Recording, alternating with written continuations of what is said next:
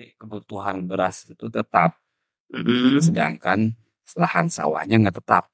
Iya. Apakah pemerintah udah memiliki lahan itu dipegang dan nggak bakal beralih fungsi dari zaman ke zaman, dari masa ke masa yang bisa kita gunakan untuk Mmm. penghasilan beras. Jika rakyat masih memiliki lahan sawah ketika dia ada kebutuhan mendesak, dia jual terus beralih fungsi. Oh iya. Udah. Suatu badan Mhm. yang tidak mengambil untung, Mhm. tapi tidak boleh rugi juga.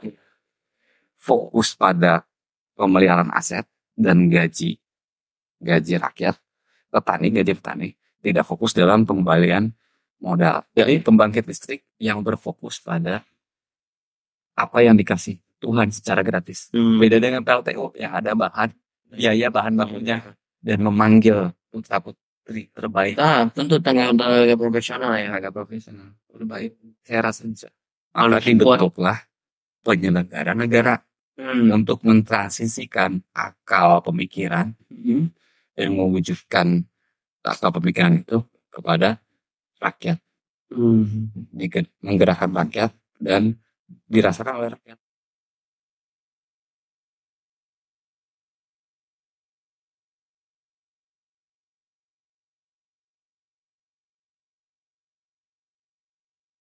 Uta, Mhm. bisa langsung aja ceritain ke saya atau ke teman-teman di rumah, Mhm.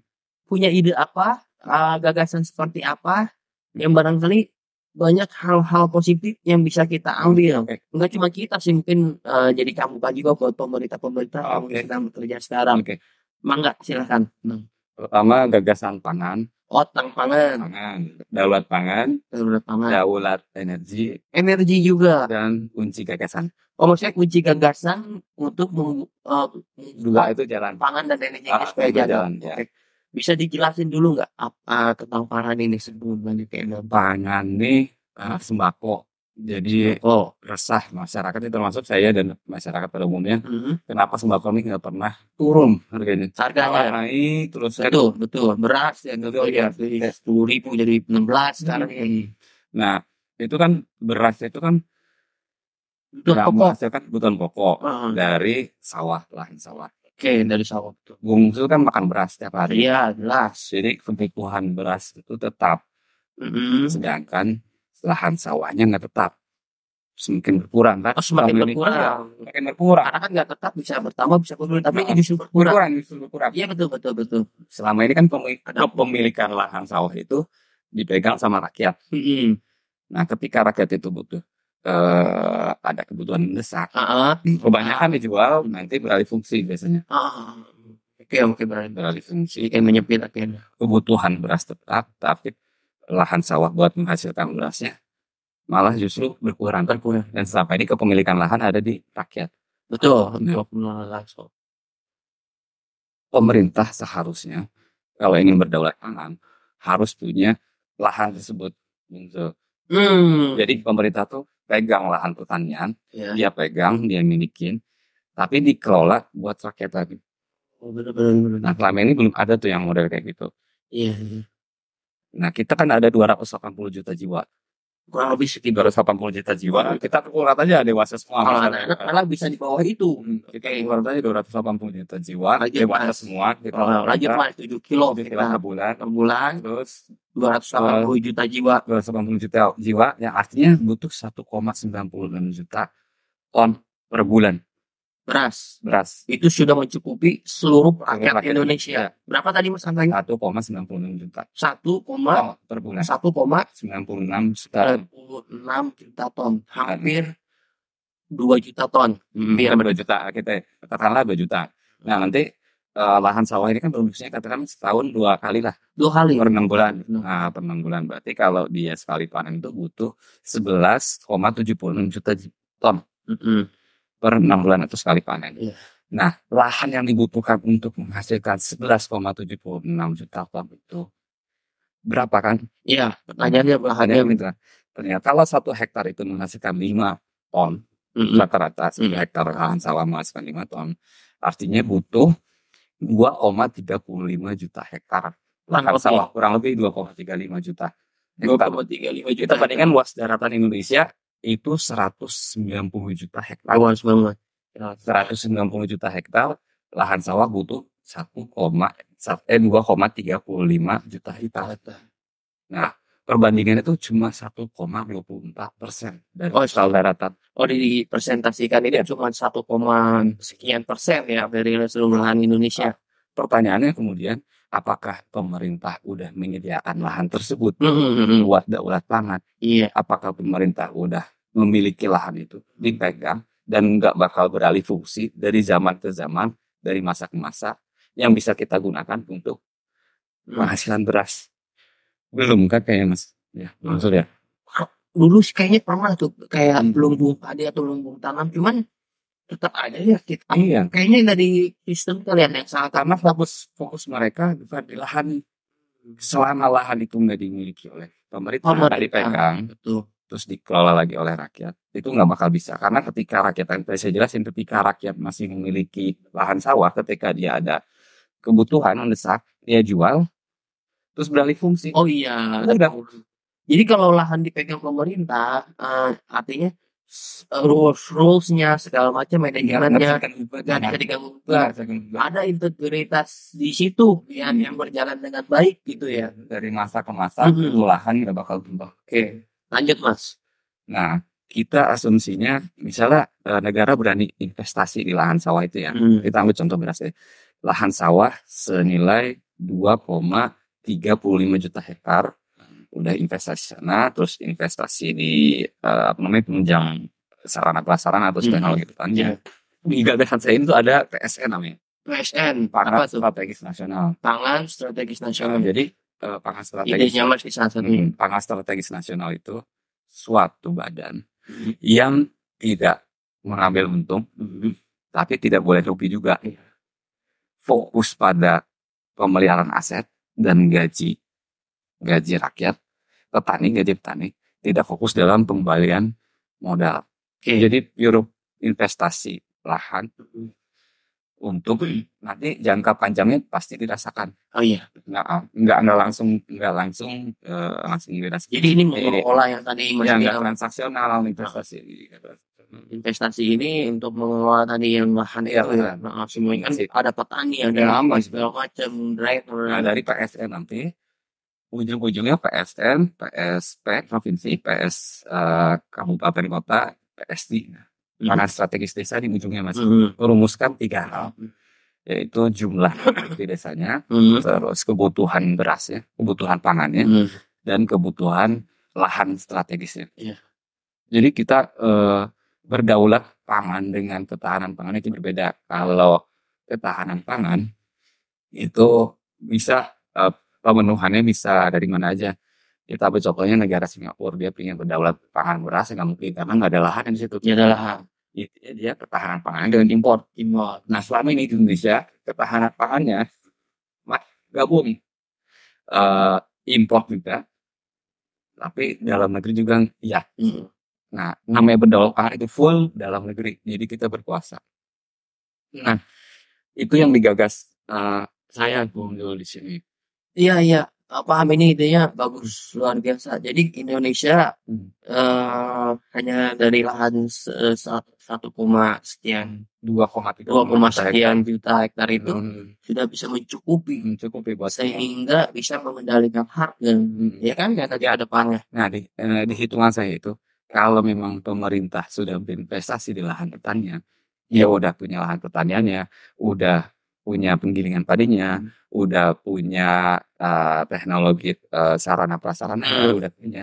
Dan cuma tugas rakyat untuk mengelola lahan itu, saya hitung-hitung eh, seribu orang, dengan seribu orang, dengan sekian hektar sawah yang digarap, Hmm. itu hanya keluar ujung-ujungnya di seribu rupiah per kilo, seribu lebih, Seribu lebih seribu, seribu harga. harga harga beras. Nah, tapi kan eh, PSN ini yang saya gagas ini kan nggak boleh untung dan nggak boleh rugi. Iya. Harga seribu itu rugi. Hmm. Nah, masa sawah itu nggak ada petani yang garap. Iya. Petani ini diambil dari desa sari tersebut. Hmm. Jadi pemerintah tuh membuka lapangan pekerjaan Hmm. petani baru di setiap desa yang mengelola lahan pangan strategis di desa tersebut. Hmm. Lahan sawah itu dikelola oleh rakyat oh, di desanya masing-masing. Jadi buka lahan lahan apa namanya petani baru, kerja petani baru di desa itu. Jadi asumsi saya 10 se- dengan 1000 jiwa di desa itu menumbuhkan 10 petani baru. Hmm. Nah, tadi kan hitung-hitungannya kan 1000 1000 per kilo itu kan rugi. Heeh. Hmm. Nah, kita biar nggak rugi, kita masukin petani 10. Heeh. Nah, nah 10 ini ujung-ujungnya saya hitung 4.500 sekian Oh, kilo harga dengan gaji per bulan petani itu digaji 2.500. Oh, oke, juta lima Jadi gini, kadang-kadang Mas, eh Bang Zul, Iya. saya ngobrol sama SMA pertanian ketika saya ngobrol sama mereka, Heeh. kamu sekolah di SMA pertanian, tapi mau nggak jadi petani? Heeh.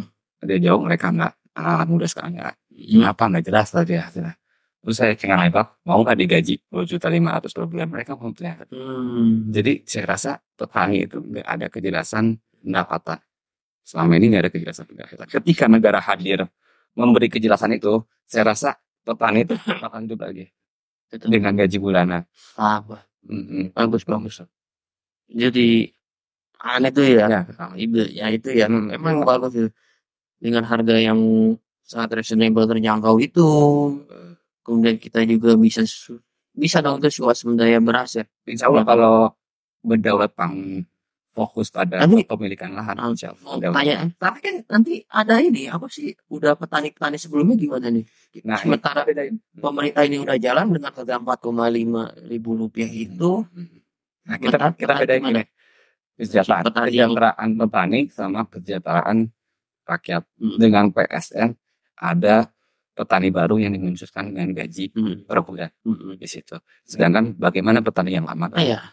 Nah, pertama kan PSN itu investasi lahan. Hmm. Lahan pertanian itu bisa tiga cara Hmm. Untuk bisa membeli lahan petani yang mau kita beli Hmm. dan otomatis kalau dia mau dibeli lahannya, otomatis dia jadi prioritas buat petani itu, petani pangan strategis itu. Hmm. Kedua bisa buka lahan tidur yang dimiliki memang dimiliki oleh pemerintah. Ketiga bisa hibah dari rakyat. Hmm. Nah ini yang sudah ada di awal-awal, saya yakin di awal-awal PSN ini berjalan pasti ada kejar target di awal. Ya mungkin langsung terpenuhi semua. Hmm. Nah selama ini kan kita kalau membutuhkan impor itu kan dari Iya, luar. betul. Petani yang udah ada dan lahan sawah yang udah ada kita beli Hmm. kita impor dari petani yang udah ada yang dia nggak mau dijual untuk PSN Hmm. kita beli di sana untuk pemenuhan sini Hmm. nah biarkan biarin kita beli maksudnya hmm, harganya yang mensejahterakan buat petani di situ nanti ketika PSN ini udah berjalan dan kita bisa swasembada beras kita bisa ekspor nanti Hmm. ke luar kalau ketika eh, beras kita berlimpah Bagus, bagus. Nah petani yang di sini nanti bisa fokus buat komersial. Oh gitu. Ya PSN khusus karena hak dasar rakyat Indonesia itu kan beras. Beras tuh nggak bisa dikomersilin, Iya. nggak bisa dikomersilin. Dan kalau memang ada petani yang buat komersial, kita fasilitasi juga. Tapi ranahnya bukan rak- buat rakyat Indonesia.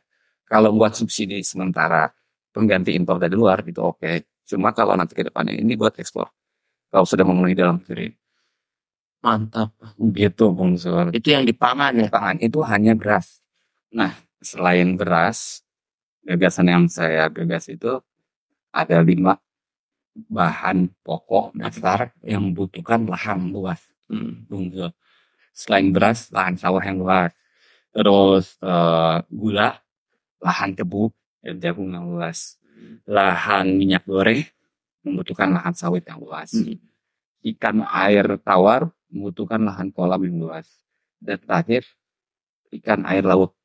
Yang tentu kita punya, lautan yang begitu luas. Nah, in- negara harus benar-benar Hadir. hadir dan memegang kunci. Dan mengunci lahan tersebut tidak bisa berubah menjadi apa pun. Hmm. Jadi dikunci dan bisa dipakai dari generasi ke generasi, dari masa ke masa. Jadi anak cucu Bang Zul Hmm. di kemudian hari nggak bakal kesusahan beras karena pemerintah hadir untuk menjaga lahan tersebut. Iya, iya. iya. Nah selama ini kan kita rasa, Jul juga rasa kan makin berkurang lah Iya, misalnya ya. khususnya lahan sawah gitu menurut Jadi eh tadi tuh nggak cuma beras ya di tuh ada ikan air tawar, Iya. jagung, ada eh, juga tebu, gula ya kan. Iya. Terus juga ada juga tadi ikan air tawar, ikan air laut ya. Eh, yang tadi dinarasikan sama Mas Uta itu kan di beras ya sebagai bahasan pokok ah, image atau bahasan pokok lah ya sebenarnya bisa diaplikasikan ke ya, yang lain lima tadi ya. Dan itu sebenarnya ide yang luar biasa, Hmm. tapi sebenarnya simpel juga. Hmm. Nah itu yang jadi pertanyaan, em, kenapa pemerintah selama ini enggak enggak, enggak melakukannya, enggak action ke arah situ? Karena kan cukup 2 juta koma sekian hektar itu Iya. sudah memenuhi iya eh, kebutuhan beras seluruh rakyat Indonesia. Sebenarnya enggak enggak harus 2 juta betul enggak mas? Karena kan ada jalan Jalan ada taruhlah kita cuma cukup nyediain lagi pokoknya nambah lagi satu juta iya hektar lah ya Iya. udah udah udah udah udah bisa ya beras Hmm. terkendali Hmm. harganya juga bisa murah bisa terkendali dan lain sebagainya karena kan ini bahan pokok ya benar nggak Hmm. Menyangkut perut ketika rakyat perutnya udah terisi segala macam juga. Iya. sisi kesejahteraan juga akan tercapai ya dari situ. Ya warga negara Indonesia perut warga negara Indonesia dijamin harus dijamin oleh pemerintah betul. oleh pemerintah Indonesia. Karena semua sem- kayaknya tindak kriminal juga bakalan turun tuh. Iya kalau kalau kan kriminal juga pasti karena perut karena perut. Gitu. tapi kan kebutuhan pokok gula beras telur Iya. dan lain sebagainya ikan terpenuhi juga kan ya. Iya pasti Tenang. tenang ya kan rakyat jadi dia nggak mikir lagi buat perut dia Hmm. jadi uang yang dia simpen uang yang dia ada nggak fokus buat pemenuhan dasar nah, pemerintah harus ada di situ. Ini itu win solution sih ya untuk kebutuhan pangan Indonesia ya.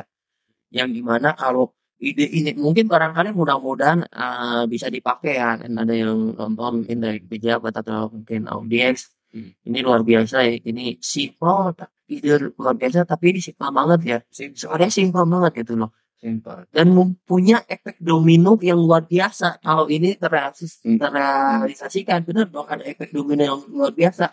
Entah itu daya beli ekonomi yang semakin baik. dan lain sebagainya. Hmm. kemudian psikologis dari rakyat Indonesia. Kan kalau misalnya bahan baku bagus juga Hmm. orang jadi seneng happy ya kan? Itu kan juga mempengaruhi Hmm. uh, masyarakat dong segala macam. Itu berbagai aspek ya. Benar nggak betul betul mas Dion jadi PSN yang saya gagas itu harus tidak mengambil untung. Ya ada yang tidak boleh rugi pemerintah juga hadir dalam uh, investasi lahannya yang aktif dan yang paling penting lahan yang sudah diinvestasikan Ya. negara miliki dikembalikan lagi kepada rakyat yang mengelola. Mengelola. Nah, dengan PST tadi pangan strategis di desa-desa. Ya. Itu badan lah bukan badan komersial iya ya. yang ikut campur dalam Hmm. Pengelolaan lahan tersebut itu harus orang-orang yang punya integritas ya Ya. sebagainya orang yang di desa tersebut rakyat sendiri, Rakyat sendiri yang badan PSD tadi PSD di desa Harusnya di desa. nah itulah yang mengelola lahan untuk pemenuhan dasar pangan luar biasa nanti ketika PSN ini yang lima tadi beras gula eh, minyak goreng minyak goreng kan air ikan laut tuh air laut Hmm. Udah terpenuhi. Hmm. nah kita lanjut di kandang pangan strategis. Oh, telur ayam bisa oh itu. Betul betul. Terus susu sapi. Susu sapi. Bisa. Terus ada daging sapi bisa. Segala macam. Yang Iya. benar-benar selain kebutuhan dasar eh, dasar manusia dan tentu pemerintah juga harus wajib memenuhi gizi Hmm. masyarakat Indonesia. Iya ya luar biasa ya. sebenarnya Hmm. simpel banget Simpel simpel.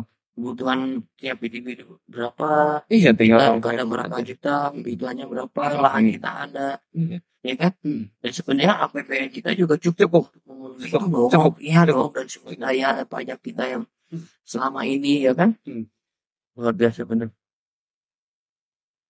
mantap mas mudah-mudahan bisa Amin amin. oh, ada bisa dirasakan mungkin sama orang-orang yang ada di sana yang di, terkait lah ini yang sedang menonton ini dan juga bisa ngambil hal positif dari gagasan Mas Ina. Tadi bilang juga pangan terus juga ada energi. Nah, Energi itu eh, mau energi itu seperti apa bisa dijelaskan? kalau berdaulat energi artinya kan energi yang bisa dipakai dari masa ke masa, generasi ke generasi. Hmm. Nah, kalau kita bicara kebutuhan rumah tangga, Hmm. pertama air, energi air, Iya, terus energi listrik, bayar air, bayar listrik, bayar eh, itu beli gas, gas, energi, energi gas. beli kalau bapak-bapak buat alat transportasi BBM, Betul, Ya, minyak, minyak, eh, gas, minyak dan gas. gas, minyak dan gas. Itu termasuk sekarang kebutuhan pokok juga Ya, nah luar biasa. kalau berdaulat berarti kan terus bisa dipakai. Hmm. Yang saya gagas ini cuma dua. Air di setiap desa harus ada sumber air di setiap desa itu yang memenuhi setiap keluarganya tuh. Seribu liter per hari. Dan itu memungkinkan kalau memang pemerintah mau eh mengebor eh, titik sumur di setiap desa untuk pemenuhan air bersih di desanya. Oh, Karena kan di setiap desa ini belum tentu eh, sama Bang Jo. Hmm. Di kita di sini disediakan air, tapi di daerah tertentu masih sulit loh. Kali. Masih. Jadi dia harus eh, effort lebih buat mendapatkan sumber air bersih. Hmm. Harusnya pemerintah hadir di situ memberi kemudahan, memberi eh, sumber airnya, dia fasilitasi dan diantarkan ke rumah-rumah warga. Itu di air. Yang kedua ini listrik. Kita selama ini kan selain air butuh listrik buat nyalain kompor, eh nyalain kulkas, Ah. nyalain rice cooker. Peralatan elektronik itu. Butuh gas LPG untuk kompor, Hmm. untuk pemanas air. Hmm. Butuh BBM untuk nyalain motor mobil. Hmm. Nah ke depannya kalau ingin berdaulat gas dan BBM Ya. nah itu kan sumber daya yang terbatas Ya. saat habis Hmm. Nah ketika habis kita nggak bisa berdaulat lagi tuh dibilang Hmm. Hmm. otomatis kita harus cari sumber daya yang bisa mensupport itu semua agar berdaulat energi Hmm. yang saya gagas di sini itu pembangkit listrik energi strategis gitu.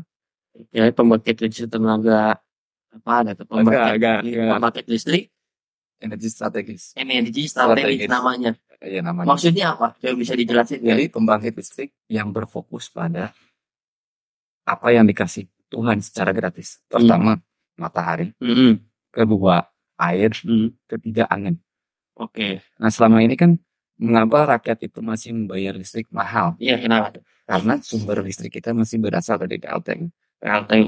Nah, Tenaga. listrik tenaga uap Wah, PLTU itu ada pengadaan bahan baku yaitu Hmm. batu bara batu bara sebagai bahan utamanya. Yes. Nah, kalau ada pengad ada biaya untuk pengadaan batu bara, Hmm. otomatis rakyat harus membayar ekstra Ekstra. untuk mendapatkan listrik. Iya. PLTU beli batu bara.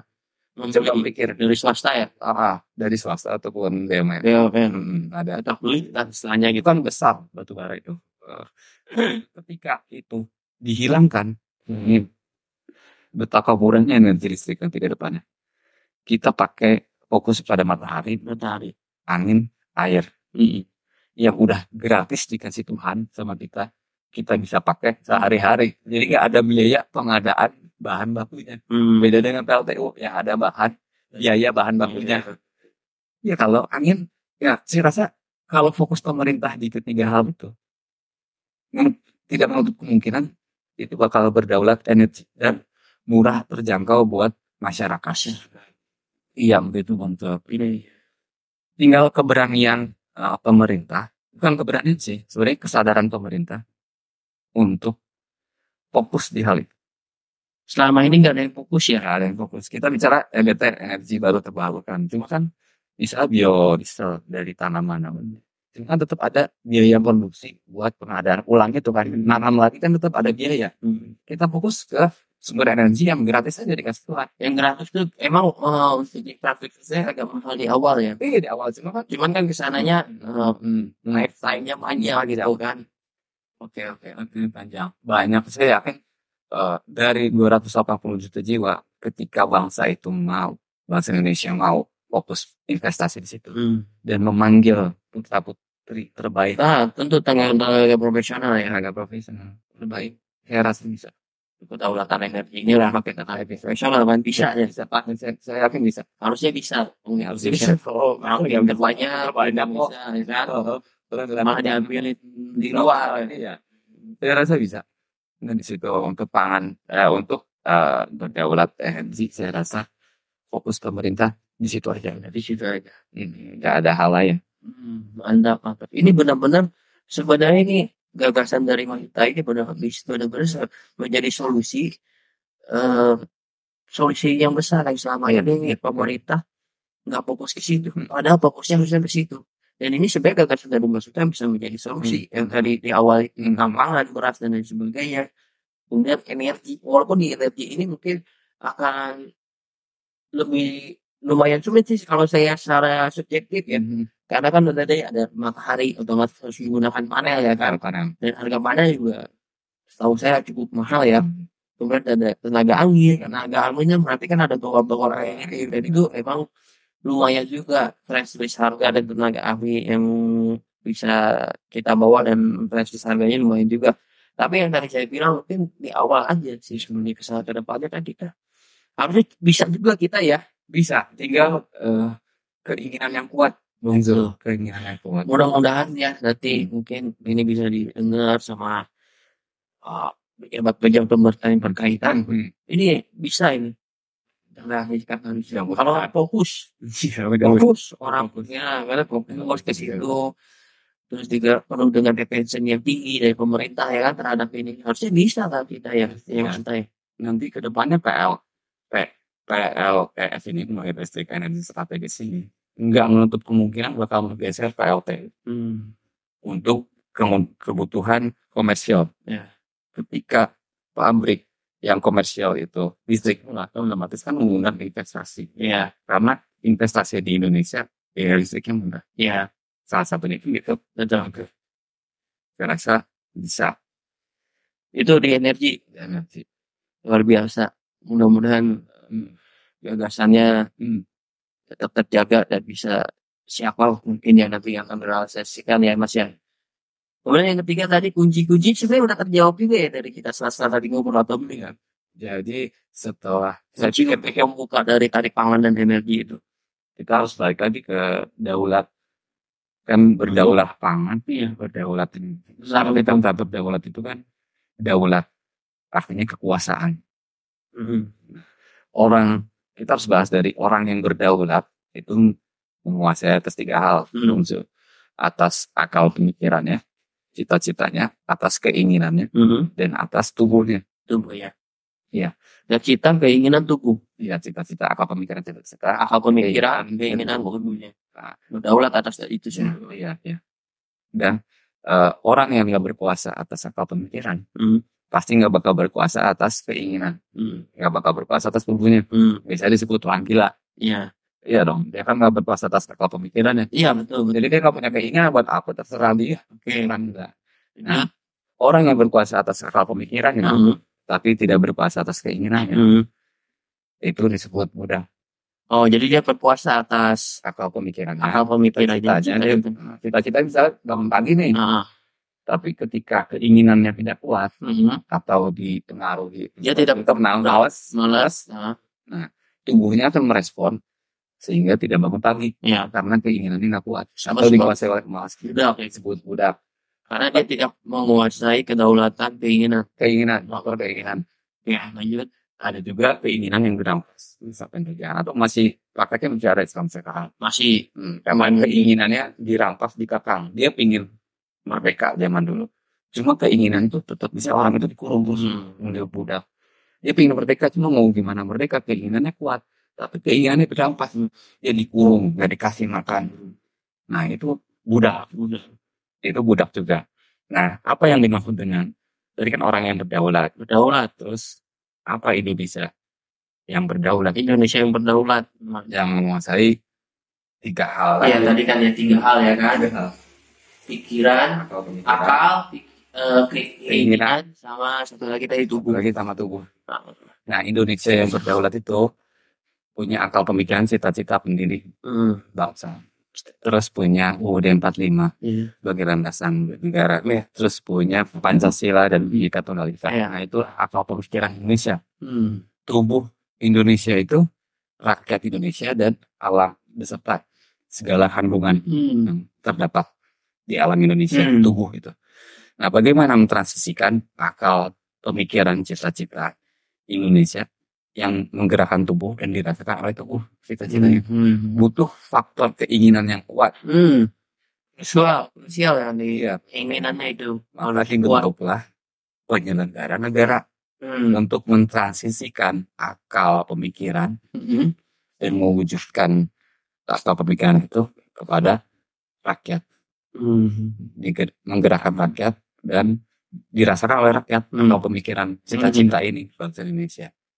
Nah, sangat krusial itu di faktor keinginan. Hmm. Ada orang yang berkuasa atas akal pemikirannya, Hmm. berkuasa atas keinginannya, Hmm. berkuasa atas tubuhnya. Hmm. Tapi akal pemikirannya itu nggak sejalan selaras dengan akal pemikiran Indonesia. Oh iya, Nah, itu namanya pengkhianat. Hanat, Jadi ada orang yang berdaulat, munafik, ya orang itu juga ya, boleh ya. orang muda dan pengkhianat. Nah, Hmm. kita nggak mau penyelenggara negara ini berisikan orang budak ataupun pengkhianat. Hmm. Nah, ini harus bersih agar cita-cita ini tercapai. Iya lah ya. Nah, Indonesia yang berdaulat itu Indonesia nggak berkuasa atas tiga hal ini. Hmm.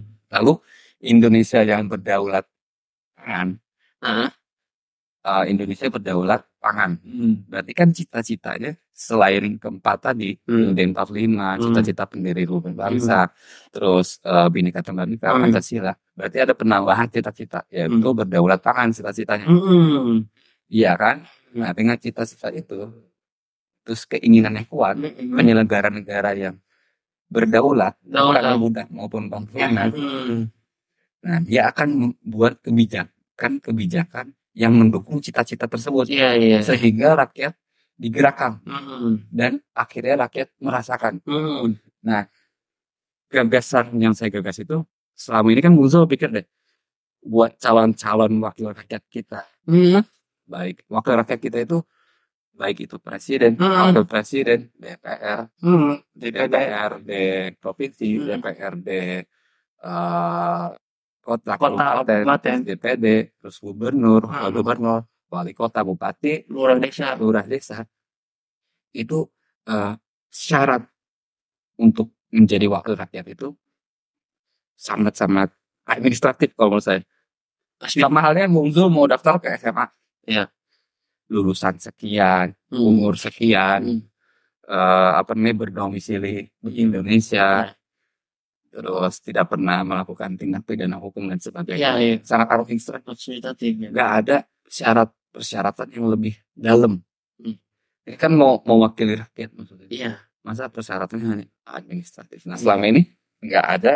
Kalau persyaratan administratif istilahnya mah orang Biasanya bodoh, bisa. bodoh juga bisa. Bisa, Iya kan? Dan itu terjadi kan selama ini. Iya, iya. iya. Oke lanjut mas. Maksudnya.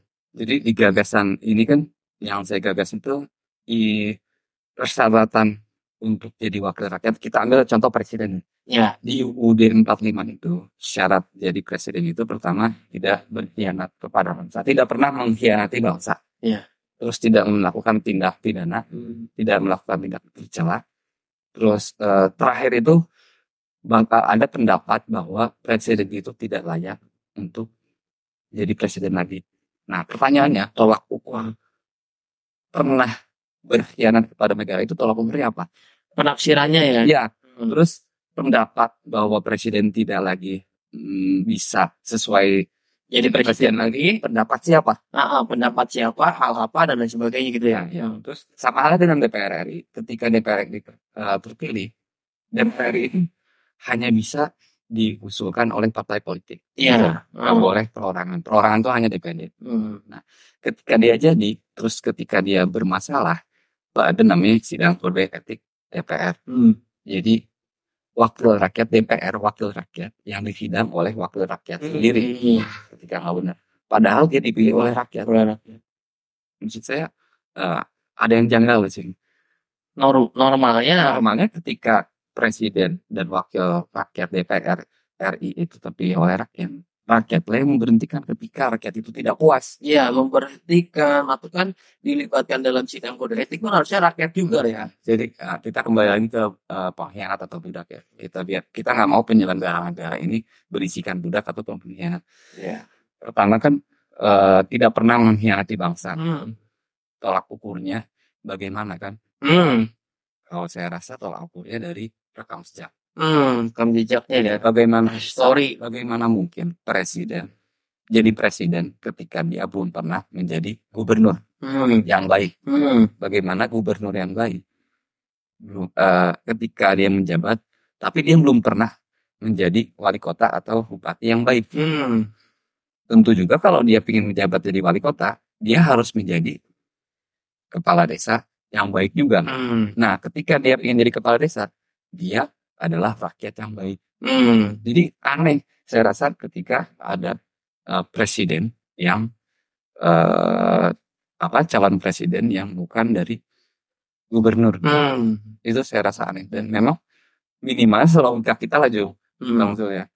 Dari ka- rekam jejak yang baik. Kita yang baik ya. Jadi mereka Ya. juga punya pengalamannya yang baik Iya. untuk mengelola kekuasaan mereka ya. Dia dia tuntas dan dia Tuntas. tuntas dan dianggap baik oleh masyarakat Mungkin ada pernah saya juga dengan pengusaha yang baik itu pengusaha yang ketika menjadi karyawan di karyawan yang baik gitu ya. Iya, Istilahnya seperti Kayak itu. kayak gitu. Sama halnya pernah- DPR RI. DPR RI juga harus pernah menjabat menjadi DPRD provinsi. Iya. Bagaimana dia mewakili provinsi, eh mewakili nasional, tapi dia nggak becus atau nggak dianggap baik Hmm. ketika mewakili provinsinya. Hmm. Kan gitu. Ketika dia mau jadi provinsi, DPRD provinsi, dia harus baik juga Hmm. ketika menjabat menjadi DPRD kota ataupun kabupaten.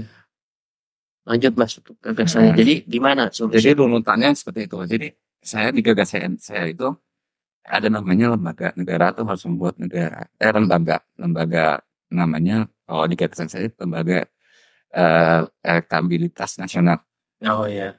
Jadi EM jadi kan Tasnas singkatannya Tasnas. Oh. Saya belum tahu. Jadi lembaga itu menyaring lembaga menyaring betul-betul rekam jejak calon wakil rakyat. Lentaknas itu iya. Lem- eh, Lentasnas Iya. lembaga elektabilitas nasional. Jadi di eh, lembaga ini benar-benar menguliti, mengupas isi pemikiran si calon wakil tersebut.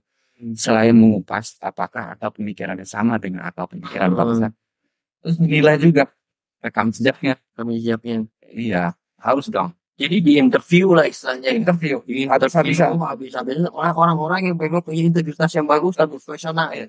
Ketika lolos dari itu, dicek lagi rekam jejaknya. Nah, Ketika rekam jejak udah lolos dan lain sebagainya, masuk baru mereka ikut pemilu. nah, itu Dipilih rakyat. Nah, dari situ dan Tasnas berkewajiban untuk mengeluarkan calon-calon bakal eh calon-calon wakil rakyat akan diserahkan kepada KPU. Mm-mm.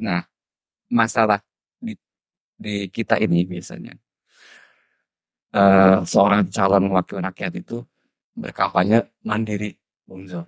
Hmm. Mandiri dia, nggak ada. Aja secara administratif ya. Iya, dia mandiri, Mandiri, mengeluarkan uang sendiri, sendiri. nggak ada sponsor. Sponsor apa dan lain sebagainya. Karena kan memang biaya buat APK ini baliho, Hmm. terus eh, membuat acara di mana itu kan butuh dana yang Dana, sedikit. Cukup besar loh itu dananya. Iya besar. Jadi wakil rakyat yang di rakyat yang merasakan ingin jadi wakil eh, wakil rakyat dan dia merasa mampu untuk mewakili pupus di jalan karena nggak punya uang.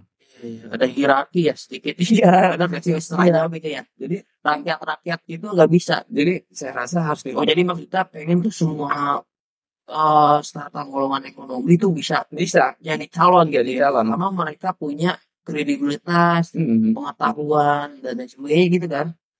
Dan eh, ketika Lemtasnas negara hadir Ah. untuk memberi kesempatan kesetaraan pada semua rakyat yang merasa dia mampu. Lemtasnas itu datang ke situ Lemtasnas Hmm. untuk diuji di situ apakah dia memang mampu layak Hmm. menjadi wakil rakyat. Nah, ketika Lemtasnas sudah mengeluarkan calon calon wakil rakyat, serahkan kepada KPU. Hmm. Nah, KPU saya rasa harus ada template baku. Hmm. Jadi formulasi baku yang memungkinkan budgeting untuk kampanye itu terukur. Terukur. Jadi Pasti. pasti Absolut. ini pasti nggak ada. Gua eh, harus ngeluarin sekian, sekian. Jadi nggak ada. Jadi terukur oleh KPU sendiri. Kalau di gagasan saya itu namanya panggung pembuktian rakyat. Panggung pembuktian Eh, panggung pembuktian nasional. nasional. Nah, nasional. Jadi setiap calon-calon itu dibiayai oleh negara. Hmm. Karena kan dari lentasnya sudah sesuai kualitasnya. Kan sudah sesuai, KPU juga sudah ini, KPU menyediakan itu Mm, budgetnya segala Nah, macam. negara harus hadir buat Ya. fasilitas itu. Jadi budgeting eh, apa namanya KPU itu misalnya presiden tiga calon presiden dia di Jawa Barat di Pulau Jawa Jawa Barat eh, di sembilan kota 12 kabupaten Mhm. dan lima universitas. Nah itu udah tingkat baku, Hmm. So, jadi nggak bisa dirubah-rubah dan setiap tiga calon itu dibiayai kapannya di situ. Jadi nggak mandiri dia. Nah, di situ eh, nanti eh, ketika DPR RI sama halnya dengan presiden, terus DPRD provinsi berarti kan beberapa daerah. Nanti KPU harus bikin template baku itu. Iya. Ketika template baku itu terselesaikan, maka budgeting untuk kampanye itu terukur dan negara harus membiayai itu. Jadi nggak ada lagi wakil rakyat yang ketika terpilih balas jasanya kepada orang lain.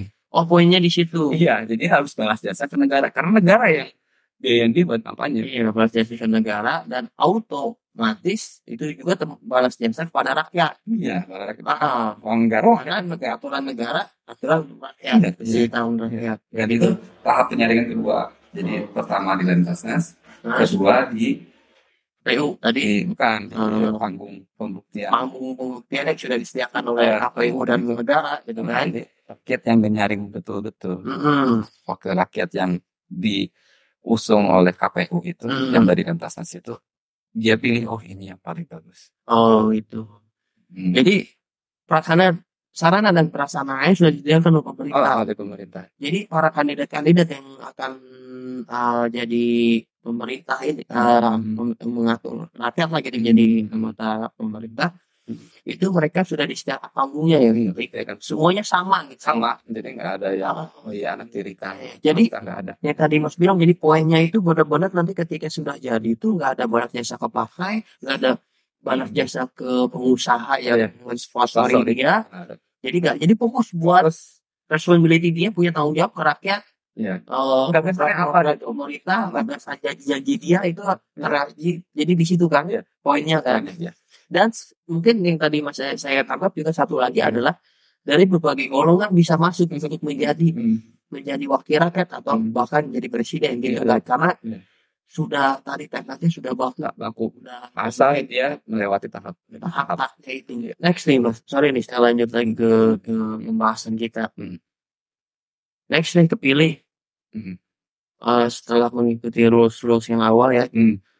mulai dari eh, lem tasnas udah beres KPU dan pemerintah ini menyelenggara- menyelenggarakan rakyat memilih dan terpilih kan misalnya. Eh di tengah jalan ternyata eh udah iya dia berubah. Entah karena berbagai aspek lah. Ada dorongan ada tekanan baik Hmm. dari politik kan. itu gimana tuh? Biasanya kan terjadi kayak gitu punya ada ide gagasan apa Nah, seperti itu dan ini tolak ukur paling mudah untuk mengukur wakil rakyat itu telah terpilih jadi budak ataupun pengkhianat berarti kan dia gagal entah Hmm. akal pemikiran Iya, bangsa iya, kalau udah ada gagal berarti kan ada ketidakpuasan rakyat betul. Nah, itu kita harus jadi patokan indikator kepuasan rakyat itu sebagai alat ketika wakil rakyat itu menjadi budak dan pengkhianat. Nah, itulah alat kepuasan rakyat itulah yang digunakan untuk mengganti wakil rakyat tersebut. Iya dong. Kita milih wakil rakyat presiden DPR RI dan segala macamnya, Hmm. gubernur segala macamnya. Ah, tetapi ketika rakyat tidak puas, masa kita nggak bisa ganti? Prakteknya masih seperti apa? Masih rakyat ini ngapain ketika ini?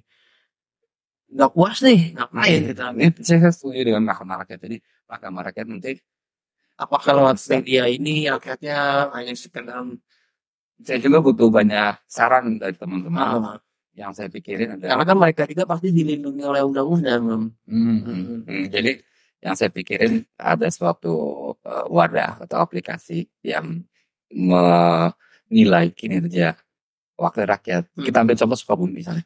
Hmm. Nah, misalnya di Sukabumi itu udah ada mahkamah rakyat ya. Hmm. Dan dia setiap rakyat itu berhak per enam bulan atau per setahun Hmm. mengevaluasi wakil rakyatnya.